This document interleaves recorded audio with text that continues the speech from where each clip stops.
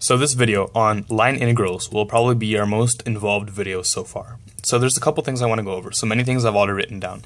First, we're just going to go over complex functions and how to integrate them. So here I've written a complex function. f of t equals x of t plus i y of t. And a few things to note. Um, it takes in the variable t, which is a real number, and I've split it up into real uh, function x of t and imaginary function y of t, just like we did in the previous video on uh, curves. So this is just a function, and t is going to go in the range from a to b. And again, these are real numbers. So to integrate this function, we're going to integrate from a to b. Uh, we're going to in integrate the function f of t dt um, equals integral of x of t from a to b um, plus i times the integral of y of t from a to b. So we see that to integrate something that you have split into real and imaginary parts, you just integrate the real and imaginary parts separately. And of course, this i will be here. So it's a little intuitive in that sense. So now we're going to get right into the topic of this video and talk about line integrals. So here's what we wish to uh, evaluate. If you remember line integrals from multivariable calculus, that's great. Uh, we'll do a little bit of a refresher right here. So first we're going to go over what is a line integral? So it, the name kind of suggests a lot of things, but um, I think it should more properly be named a curve integral, but we'll stick with line integral. So we draw any curve we want. So from the previous video, we know that there's many classifications of curves, but here's one. So A to B, and of course we need a direction. So here's our direction of travel. Now, a line integral involves a curve and a function. So back here, the function here is v of z, where z is complex number. So v of z. Now, as we move along this curve, we have different values of z. So here z, maybe it's 3 minus 2i. Maybe at, at point B, it's uh, negative 4 plus 1i. And of course, different values of z all along. And this is on the complex plane. So what is the line integral? What is uh, this? What is this entity? What is? How do we calculate it? So uh, just to make it simple, we start at a, and at this point, let's say it's three uh, three minus two i.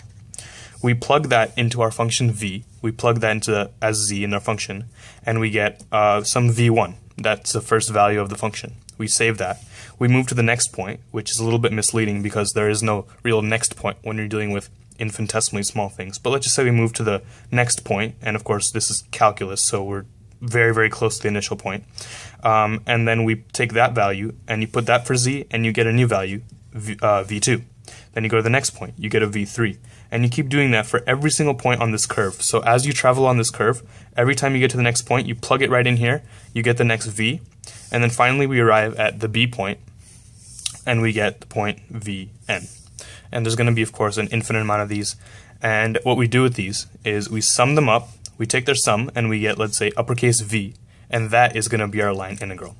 So just to recap, a line integral is when you have a curve, um, a line in quotation marks, and you take the value of the function at each point along your curve, and then you sum it all up, and then that's going to be the value of the line integral. So let's see what that implies.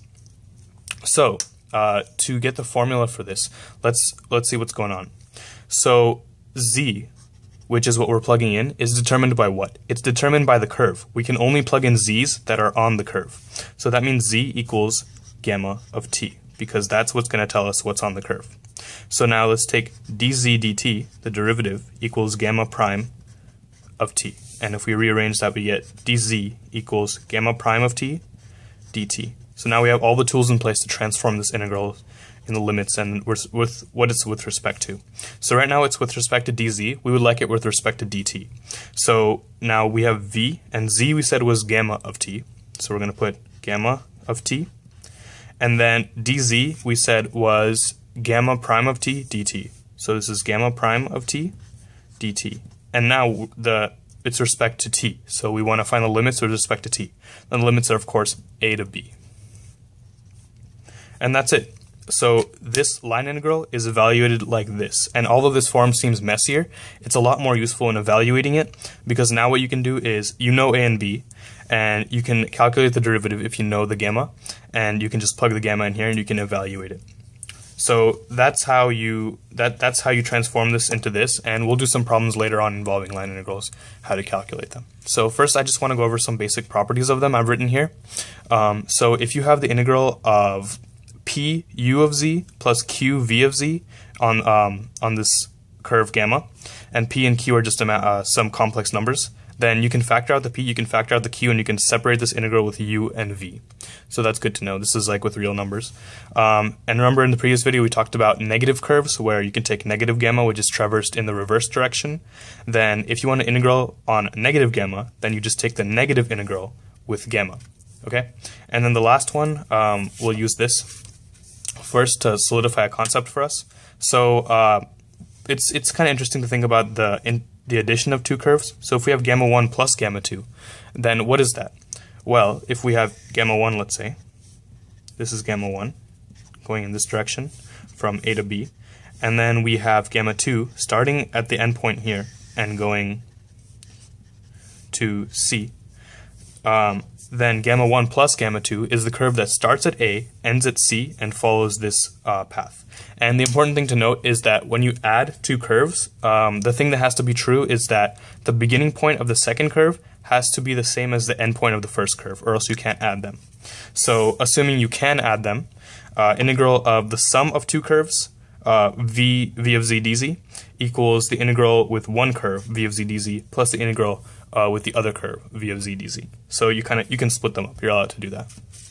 So now that we have these properties in mind, um, we are going to spend the rest of the time uh, proving an important inequality that has to do with line integrals. So this uh, will be a little bit involved, so let's just stick with it. Okay, so first, this is what we're going to be trying to prove. And these bars, again, are modulus. So although this may seem like a very nasty thing, this integral from a to b f of t dt, it is in the end just a complex number because when you add a bunch of stuff up, you're just getting a complex number. So for simplicity, let's rename it k. And k is the complex number, and that's just the inside. So what we're doing is the modulus of k, and we're trying to prove that that is less than or equal to when you take the integral from a to b, and instead you take the modulus of f of t at each t that you're putting in. Okay, so we're going to try to prove it, and then I'll show you why it's uh, useful for us at all. So we rename this k, and then since it's a complex number, it lies somewhere on the complex plane. Okay, so let's just say it lies here. And then again, it has a modulus, so this is called modulus of k, the distance to the origin. And as we've shown in previous videos, maybe two or three videos before this, uh, we can write this again as k cosine theta plus i uh, modulus k sine theta. And that equals k, because we can break this into horizontal vertical components. And theta will be the angle with respect to the positive real axis again. Okay, so we can write this as this, and again we can factor out the k and get cosine theta plus i sine theta. And this we can write again as e to the i theta from the exponential video equals k. Okay, and then now we want to try to get k alone, uh, modulus k alone. So this equals e to the minus i theta times k. Okay, so I just divided by e to the i theta on both sides to get the modulus k alone. So now the first thing we're going to assume, we're going to assume that integral of from a to b f of t dt, or I guess I renamed it k, does not equal 0. And it can equal 0, but see what happens if it equals 0? If this is equal to 0, then is 0 less than or equal to this? Well, it's going to be. Because when you take the modulus of f of t for every t that you're putting in, um, modulus is always positive numbers. So you're just basically, uh, it could be 0 also, but you're basically just taking uh, from a to b, you're just adding a bunch of positive numbers or 0. So that's obviously going to be greater than equal to something that's 0. So it's true for the 0 case. So let's try to prove it for all the other cases. So we're going to show, we're going to assume here that k does not equal 0. This integral is not 0. Okay, so we assume that uh, modulus k is greater than 0 because k is not equal to 0. Um, and then what we do is that's going to be e to the negative i theta times k as we just uh, showed right here. And then what we want to do uh, from there is expand this uh, back to its definition. And then this is because k is just equal to this. Now this e to the negative i theta, theta is fixed. Theta is just that angle. It's not a variable. So I can just put it right back into this integral if I want. So a to b e to the minus i theta f of t dt. And now I want to do a little bit of renaming. I'm going to rename this right here. Uh, we're going to call it g of t, a new function. So this is going to be integral from a to b, g of t dt. Okay, so the next thing that we want to do is show that, uh, or rather notice that this integral, integral of a to b, uh, of g of t from a to b is positive. And the reason for that is, trace this all the way back, this is all greater than 0. So this is greater than 0, so it's a positive number. And since it's a positive number, let's take its real part and look at that a little bit. So the real part of g of the integral from a to b of g of t, we can take the real inside here. And for a reason of why you can do this, check out uh, this video, which will explain a few lemmas in this proof overall. So um, if we take this, uh, if you look at that video, you can pause this video, look at that video, come back. So this is true. And uh, let's move on to the next paper. And now, uh, okay, let's look back at this paper for just a second. Um, we're looking at the real part of integral of g of t from a to b. And since this is just a positive number and uh, modulus k is just a positive number and they're equal furthermore, they have equal real parts. And furthermore, since they're just positive numbers, the real part of this is equal to this and is equal to the real part of this. So we uh, will write that right here. We'll write that real part of integral g of t from a to b equals modulus of k. And then as we just did, that equals integral a to b real part of g of t dt. And now something to note, let's just draw a quick graph. If you have any complex number, the real part is always less than the modulus because the modulus is the hypotenuse. So this is less than or equal to integral a to b modulus g of t dt. And now from here, we're going to use the definition we showed in the previous video. Let's see, where did I define it? Uh, here, where g of t equals e to the negative i theta f of t. So that means that this equals a to b. Uh, okay, so this equals this because since g of t equals the inside of this modulus, the modulus of g of t is equal to the modulus of e to the negative i theta f of t. And something else that you'll see in the video, which I'll link again right here, um, is this is the lemma video. You'll see that if you have two complex numbers, let's say z and w, and you're taking the modulus of their product, then that's the same thing as the product of their moduli. So using that rule, we see that this right here equals integral a to b modulus e to the negative i theta uh, modulus f of t dt. And modulus e to the negative i theta, if you expand it in cosine and sines, is just equal to 1. So now we're here, we're just dealing with e to the, uh, we're dealing with modulus f of t dt from a to b. So what have we showed here? We have showed uh, that, um, okay, let's just go back here. So we said that real part of this quantity, which is equal to modulus of k, equals this, which is less than all of this. So that means modulus of k, and k we'll write out again, modulus of a to b f of t dt, which is k. So modulus of k is less than or equal to, which was here, um, what we just found here, integral a to b modulus f of t dt. And let's highlight this, put it in brown, and now let's look at what we were trying to prove and compare it with that.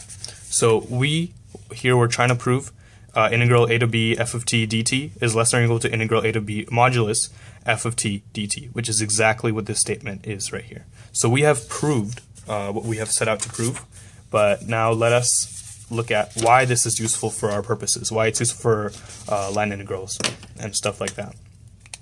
So let's keep this result handy and let's apply it to line integrals. So what is the line integral? The line integral uh, was integral, we said v of z dz. And now let's take the modulus of this, and this is equal to, as we said, uh, modulus a to b v of gamma t gamma prime t dt. And I'll take the modulus of all of that. And now, by the theorem we just did, this is less than or equal to integral a to b modulus v of gamma of t times modulus gamma prime of t uh, dt. And now this is very looking very messy, so let's just go over, make sure everything I do is valid, so you believe it. Um, so this is just the definition of the line integral, and everything's in modulus. And now, using the theorem we just found, um, this theorem right here, so this theorem says that whenever you have an integral a to b of some function of t, and what we have here is some function of t, although it's very large and split into two parts, this is still a function of t. So all of this is a function of t, just like f of t is. That is less than or equal to integral from a to b of the modulus of that function of t. And that's what I've done here. I've taken the modulus of that function of t, and I've split it into two products, just like we are allowed to do because of the lemma video um, that you hopefully watched. Okay, so to finish up um, from the previous paper, we had uh, we had integral a to b modulus v gamma t uh, modulus gamma prime of t dt. Okay, so let's finish up. So we have this integral. And now let's look at one part of this integral as a separate integral. Gamma prime of t dt. We're just going to look at this integral really fast. And if gamma is x of t plus i y of t, then we said gamma prime of t equals x prime t plus i y prime. Okay, so now if we take integral a to b, and what is the modulus of this? Well, it's going to be um, it's going to be square root of x prime t squared plus y prime t squared dt. And this is by uh, Pythagorean theorem, because the modulus of something is just a hypotenuse of the real uh, and imaginary parts which are the legs. So now this is important because if you remember from calculus, this is the formula uh, for the length of a curve. So this equals the length of gamma actually. So if you need a refresher, go back and look at your calculus notes. But um, the this this is the formula for when you parametrize a curve, even in the real variables. This is going to be the length of the curve. So this integral right here, um, really this one, is equal to the length of gamma. And this is very helpful for us because this helps us make a very important estimate. So now let me reproduce this integral at the bottom and now let's analyze it. So a to b, v gamma t gamma prime t dt. Okay, so now to finish up, let's look at this. So when you do this integral, let's just go through it and see what happens. So let's say t is going from a to b. So let's say you start at a for t. And then you put that in into each of these components. And let's just make a list. So you get v of, uh, let's say, gamma 1 times, this is going to be gamma prime of a, but we'll just call it L1 because it's going to be a component of the length. Now you put in the next t, what do you get? You get v of gamma 2 times L2. And you just keep going all the way to b until you get v of gamma n times length n. Now, each of these v's um, is going to be, or really they should each be modulus of v because we're adding up moduli of v. Um, but they're each going to be different. But the point is, there's going to be a maximum one of them, which means that they're all they're all going to be different, but there's going to be a biggest one, and let's call that biggest one m for max.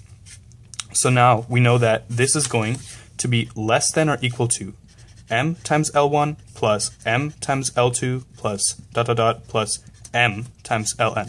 And let's analyze that for a second. I just replace each of these moduli v gamma 1, v gamma 2, v gamma n with m because I want to make I want to make something that's greater, so I just replace each of them by the maximum value. So even if they were each the maximum value, this would still be greater than or equal to. It would be equal to. So now I can factor out the m and what I'm left with is L1 plus L2 plus blah, plus Ln. And what we saw from this integral is that, that all those L's add up to the length of gamma. And that's because all those L's are really just, it's really just this integral right here because they're just these components.